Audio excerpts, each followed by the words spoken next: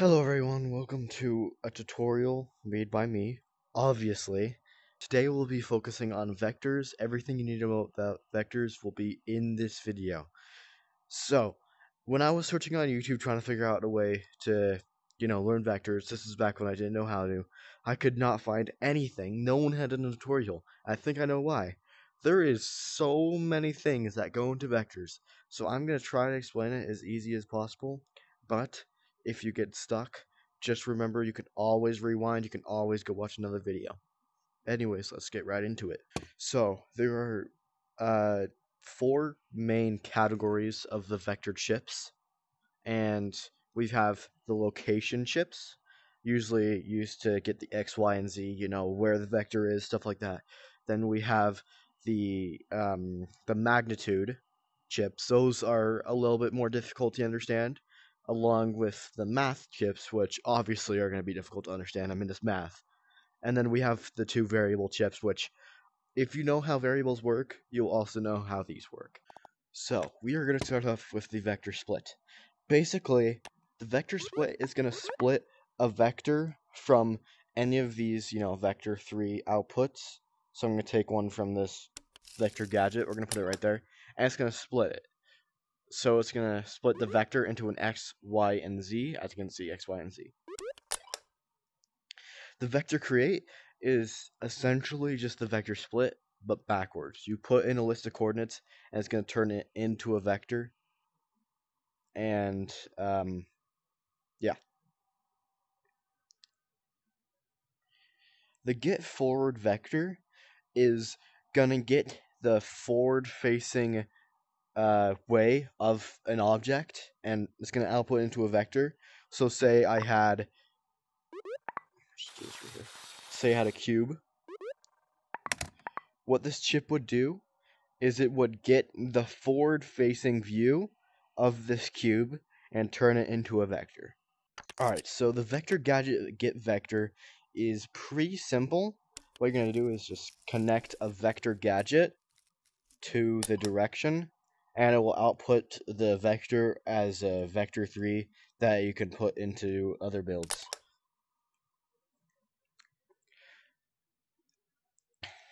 So the vector gadget is probably already been shown for these other chips, but basically it's gonna uh, pinpoint a specific location in your room.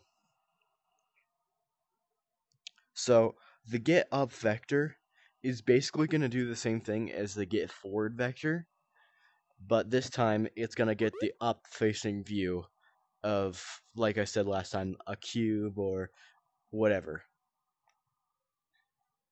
Alright, so now we're getting into the magnitude. Magnitude is where I start to have less knowledge, so if you want to look it up, I don't I couldn't even find anything for the definition of magnitude. But here here here's my try. So the vector 3 normalize, what it is going to do is it's going to output the vector. So say I put in a vector gadget and I put it right there. It's not going to, so I did that. Say I wired it like that. And the magnitude was 2, let's say. It's going to normalize it and put it back to 1. So it's going to convert this vector back into a vector 1.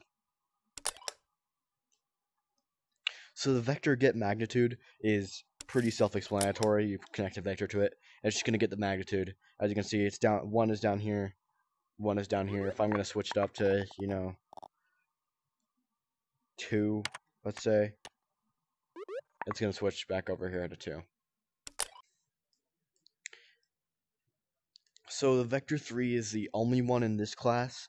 I moved one out of this class because I realized it probably didn't belong and the vector 3 scale is its only, you know, basically its only vector 3 thing for math specifics is it will take one vector vector 3 and another vector 3 or an integer or float, whatever. It will multiply a vector. That's basically what it does. So it's going to multiply, say I connected this. It's going to multiply the vector by whatever I put in here. Okay, so these two are probably the easiest out to understand out of all of them. So, the list vector is basically just a variable, but you can output it as a list. And I'm pretty sure I haven't worked with lists before.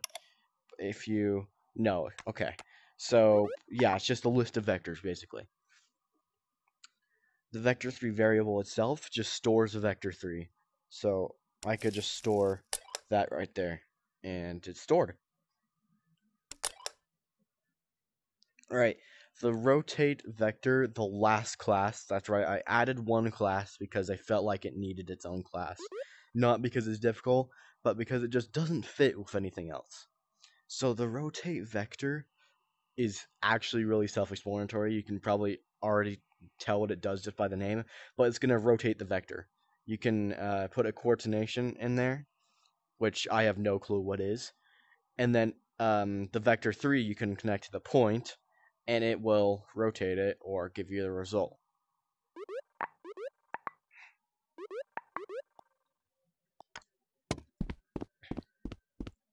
Alright, so that was a lot of tough explaining, but what can I do with it now?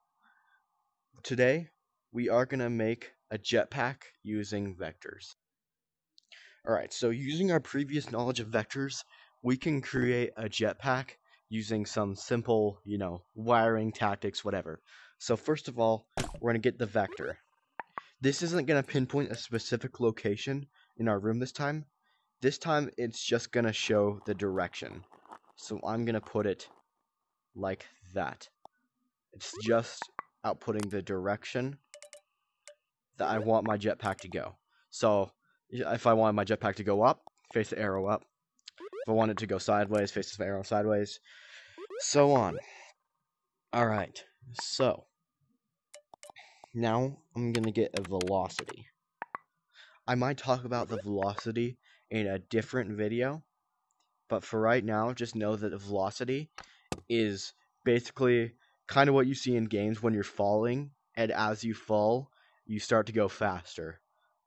So, if I were to go fly up here, then fall, I'm going to start to get faster and faster and faster as I fall down.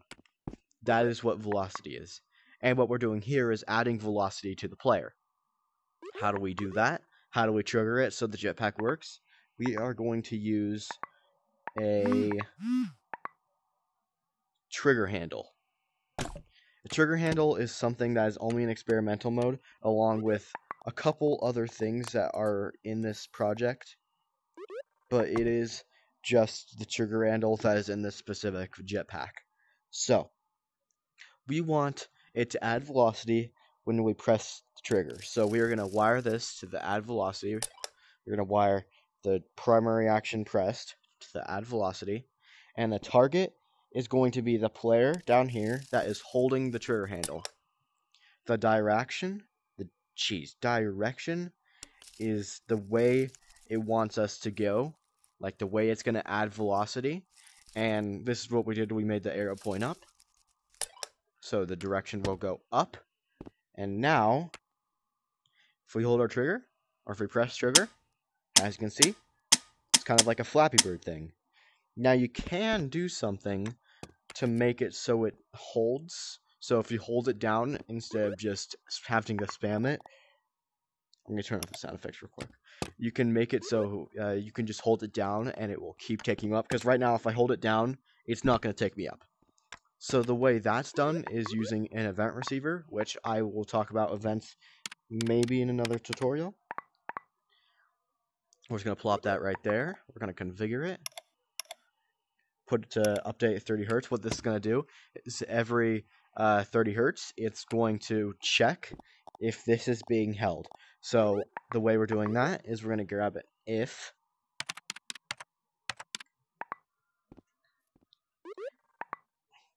and we are going to connect the primary action is held to the if.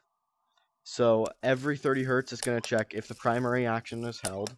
Sorry. The primary action is held, and if it is, then it's going to add velocity. We can just unwire that top thing. Now, as you can see, when I hold it, it keeps taking me up. I don't have to spam my trigger anymore. Of course, I can if I wanted to, but I just hold it down, and it does that. So, that was a pretty tough explanation. Thank you for making it through. Thank you for watching the whole tutorial. I hope your project works well. I hope the things you do with vectors work well. And if you don't understand it, that's my bad. Watch another tutorial. But until next time, I will see you guys later. Thanks for tutorialing with me.